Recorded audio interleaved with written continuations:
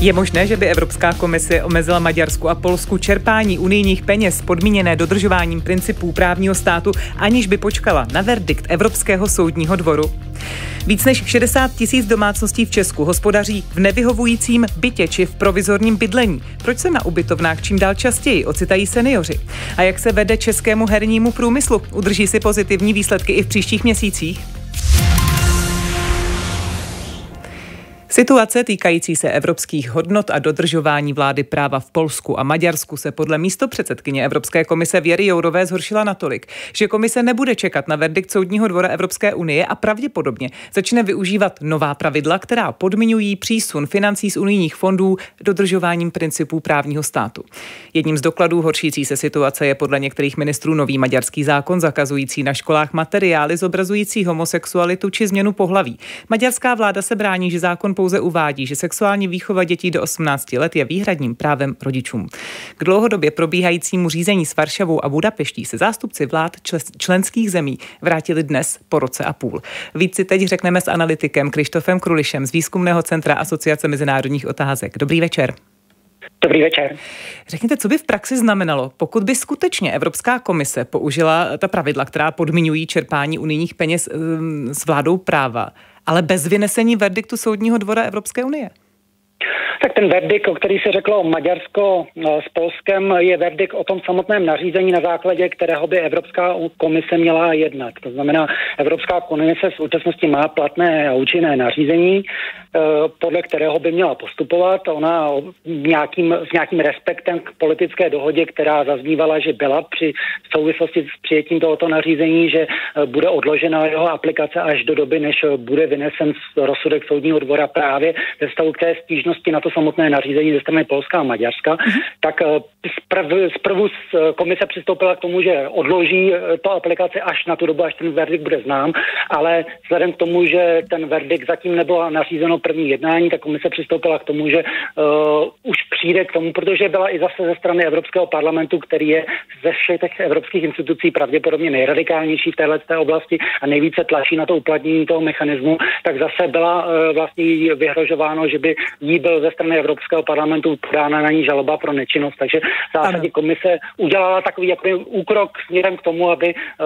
se vyhla žalobě ze strany Evropského parlamentu a samozřejmě pak bude následovat ty různé právní alternativy, které mohou nastat. No a to mi řekněte, promiňte, pane Kruliši, to mi řekněte, no. co tady může následovat. Protože Evropská komise, dá se říci, tedy je tak ve dvojím ohni a teď se snaží vyhnout jednomu tedy ze strany Evropského parlamentu. Na stranu druhou ale tak eh, trochu obchází svůj vlastní dojednaný kompromis z léta, respektive potom z podzimu, na základě kterého tehdy Polsko a Maďarsko, pamatujeme si to, odvolali svá veta unijnímu rozpočtu a čerpání peněz na postcovidovou obnovu, čili eh, nebude se potom potýkat zase s tím, že se přece zavázala k tomu, že počká na ten soudní verdikt.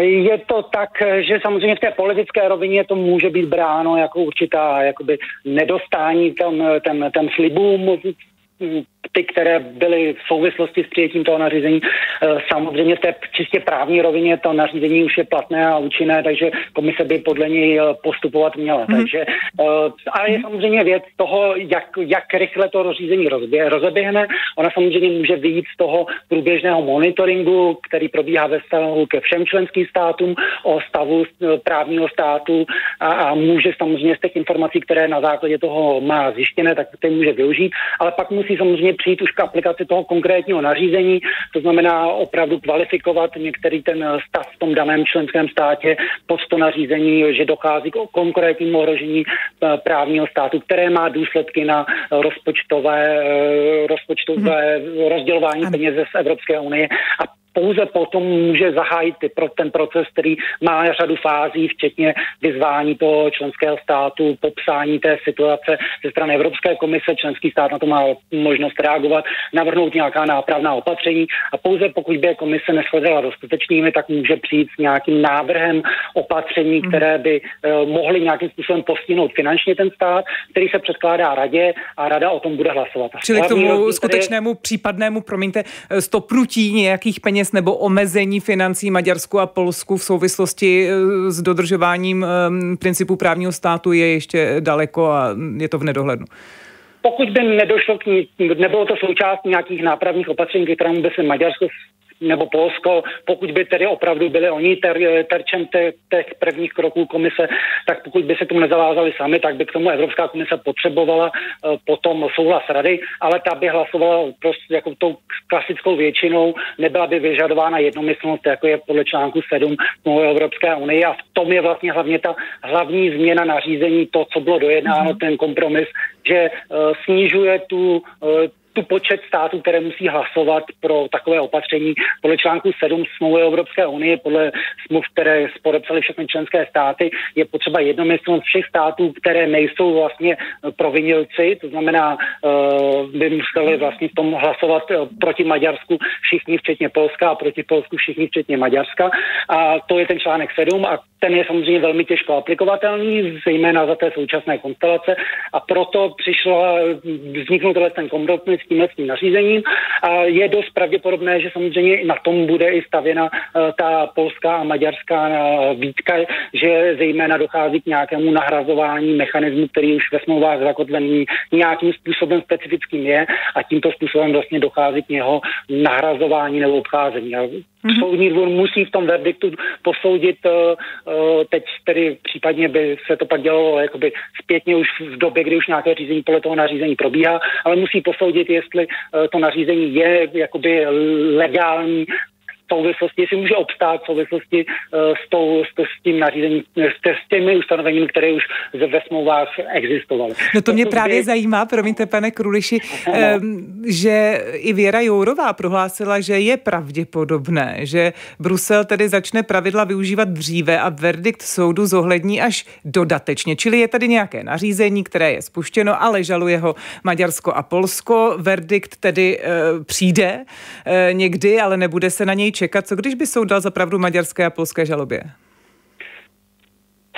Záleželo by na to, kam, jak daleko by se rozeběhlo to řízení s tím kterým konkrétním státem. Pokud by uh, už jsme byli ve fázi, že by rada i schválila nějaká ta konkrétní opatření, která by se dotkla třeba i uh, pozastavení některých programů z evropských rozpočtů, tak tam by samozřejmě si ztratila by se ten legální podklad pro vydání takového, takového aktu a muselo by dojít k nápravě, uh, k nápravě a dorovnání všech, všech, všech těch věcí. Takže v zásadě, v zásadě je to určitě takové jakoby uh, jednání s tím, že i komise se bude vědoma toho, že, uh, že může tam tahle alternativa nastat. Ano. Uh, které si samozřejmě jakoby budou vědomá, pak třeba i rada, když bude o tom, o tom, o tom rozhodovat, ale uh, jakoby v zásadě se to můžeme připodobnit uh, třeba i k uh, opatřením teďka v, v covidovém, covidovém opatření české vlády, také vlastně je nějaká presumpce uh, správnosti eh, veřejnoprávního aktu a dokud není prohlášen za neplatný, tak se podle něj postupuje jako,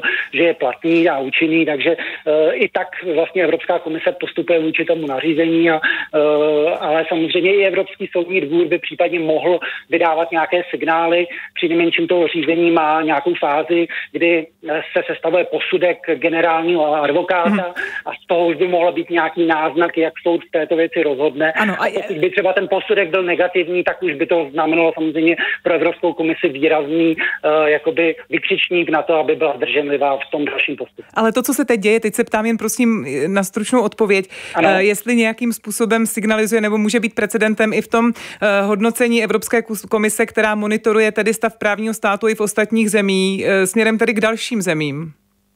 Co to vypovídá? Já jsem já si myslím, že tam jde opravdu o to, že komise, pokud má v současnosti z toho svého monitoringu nějaká aktuální zjištění, které jí vedou k tomu ten mechanismus využít, tak tomu přistoupí, ale nebude ho uplatňovat možná v takovém rozsahu a šíři, jak by uh, postupovala, kdyby už měla jistotu, že ten mechanismus je i ze strany soudního dvora pověř, hmm. posvěcen, že, že je bezvadný. To znamená, je možné, že, že by Evropská komise zatím bude střídmá v tom uplatnění toho, eh, toho nařízení a v případě, že eh, soudní dvor řekne, že je v pořádku, tak potom by možná, možná mohla přistoupit k širšímu uplatnění ano. i vůči třeba dalším státům, nejenom vůči Polsku a Maďarsku. Analytik Krištof Kruliš z Výzkumného centra Asociace mezinárodních otázek byl naším hostem. Děkuji za to. Naschledanou.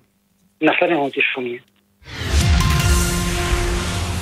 provizorním bydlení, nevyhovujícím bytě či dokonce bezdomová v Česku může být až 61 tisíc domácností. V nich může žít až 165 tisíc lidí a z toho až 51 tisíc dětí. To uvádí studie uskupení za bydlení, kterou dnes její autoři představili v Senátu. Bez střechy nad hlavou zůstalo 11 tisíc až 17 tisíc lidí a přibývá seniorů, kteří končí na ubytovnách, tvoří až pětinu jejich obyvatel. A počty lidí žijících v provizorním či nevyhovujícím bytě v posledních letech vzrostly. O jak výrazný nárůst jde i další podrobnosti zmiňované analýzy proberu teď eh, s jejím spoluautorem, výzkumným pracovníkem organizace Lumos Janem Klusáčkem. Dobrý večer. Dobrý večer. Čili jaké jsou ty trendy ohledně toho, kolik lidí a z jakých socioekonomických skupin se ocitá v té vážné bytové nouzi? Trendem, který určitě můžeme sledovat, už to bylo řečeno, je nárůst počtu seniorů eh, na ubytovnách nebo také v asilových domech.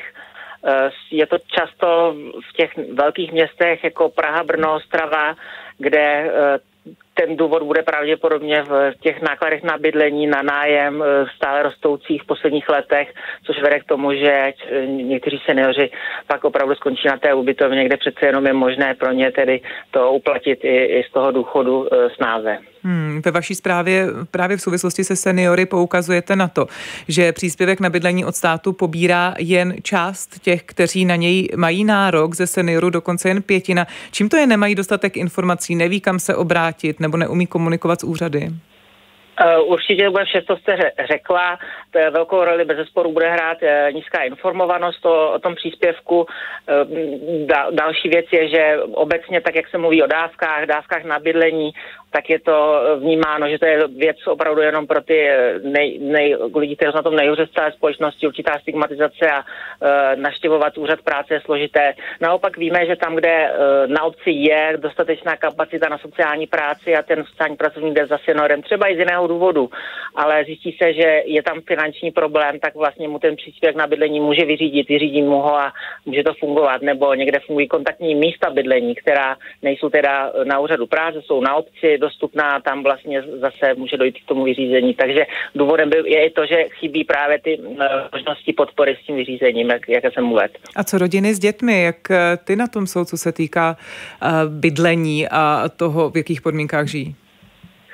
Pokud jde o rodiny, tak tam eh, je největší část z těch eh, domácností, co jsou v bytové nouzi v bytech, to jsou situace, kdy, kdy, kdy je extrémní přelidnění.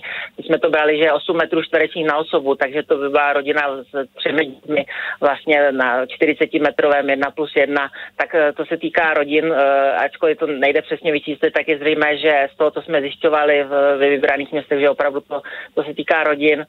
Rodin se také i týká ale to, že ten příspěvek na bydlení nepo nepobírají, přičemž je zajímavé, že eh, častěji jako to nepobírání u těch rodin, když to řeknu střední třídy, které jsou na tom trochu lépe, ale právě důvodem asi bude ta nízká neinformovanost, že o tom neví, takže té možnosti hmm. nevyužívají a vlastně třeba v Praze tak už je uh, skoro 20% domácností pražských zatíženo nadměrnými náklady na bydlení podle definice Eurostatu, což je více než 40% příjmů té hmm. domácnosti jde na uh, náklady s bydlením. Vy jste vaši analýzu dnes představili v Senátu.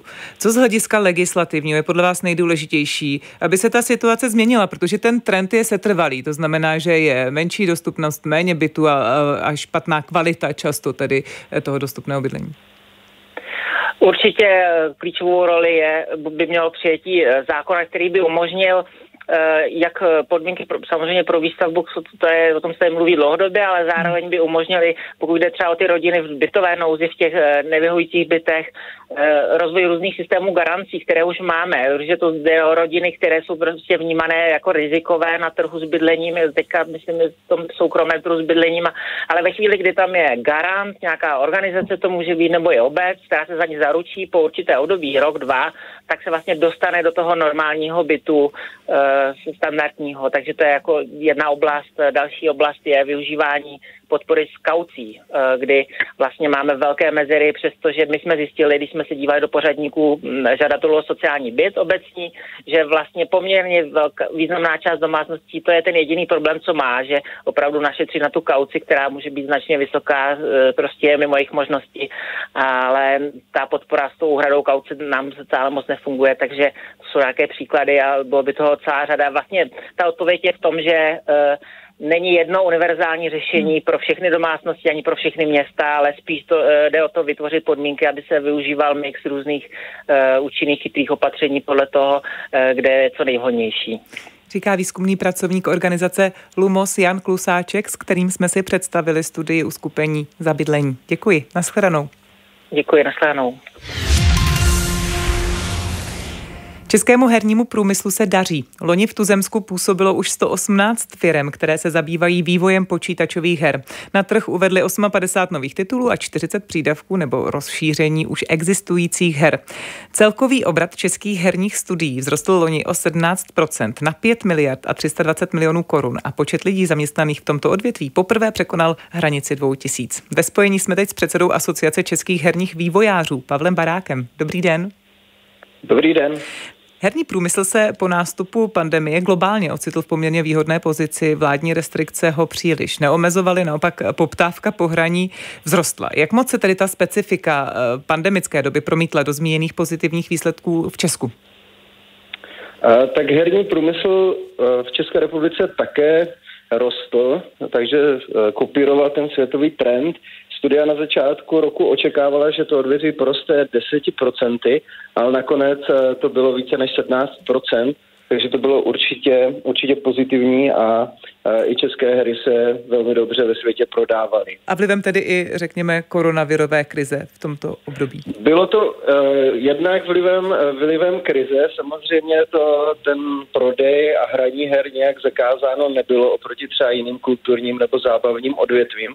Takže Eh, to lidem zakázáno nějak nebylo a proto se to projevilo i na těch prodejích. Každopádně eh, bylo tady několik eh, dalších úspěšných českých her, kterým se opět podařilo, podařilo prostě prorazit ve světě, takže i to ovlivnilo ty relativně dobrá čísla. To mi prosím rozveďte, jak si Česká herní studia stojí v porovnání se zahraniční konkurencí a co konkrétně patřilo k těm jejich největším úspěchům?